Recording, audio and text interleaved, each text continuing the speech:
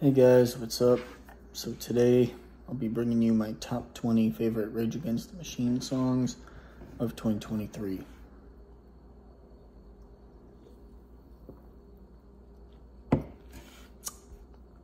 So if you're a fan of Rage Against the Machine, feel free to leave your top 20 down in the comments below and let's get started. Number one is Guerrilla Radio from the Battle of Los Angeles. Number two is Calm Like a Bomb from the Battle of Los Angeles. Number three is Mic Check from the Battle of Los Angeles. Number four is Born of a Broken Man from the Battle of Los Angeles. Number five is Maria from the Battle of Los Angeles. Number six is Darkness from the Crow soundtrack. Number seven is People of the Sun from Evil Empire. Number eight is Snake Charmer from Evil Empire. Number nine is Down Rodeo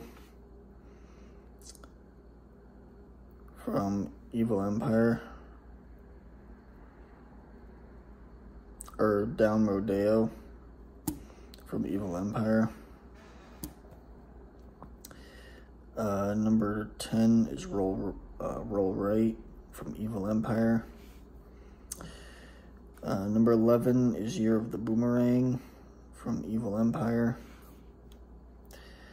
Number 12 is No Shelter from the Godzilla soundtrack from 1998. Uh, number 13 is Killing in the Name from Self Titled. Now, I know a lot of people have this song at number one, and for very good reason, but personally, I think there's better Rage Against the Machine songs than Killing in the Name. It's still a good song, though. Uh, number 14 is Bullet in the Head from Self Titled. Number 15 is Know Your Enemy from Self-Titled. Number 16 is Wake Up from Self-Titled. Uh, number 17 is Mindset's a Threat from Self-Titled. Number 18 is Auto Logic from Self-Titled. Number 19 is The Narrows from Self-Titled. And The Narrows, or um, Autologic. Those two go back and forth for me for being um, my favorite of the demo songs from the 25th anniversary edition of the self-titled album. Uh, and then number 20, last but not least, we have Kick Out the Jams from Renegades.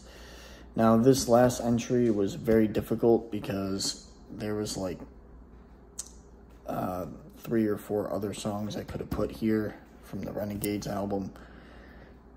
But Kick Out the Jams ended up making a cut. So, that's my list, guys. And I'll see you guys next time. Rock on.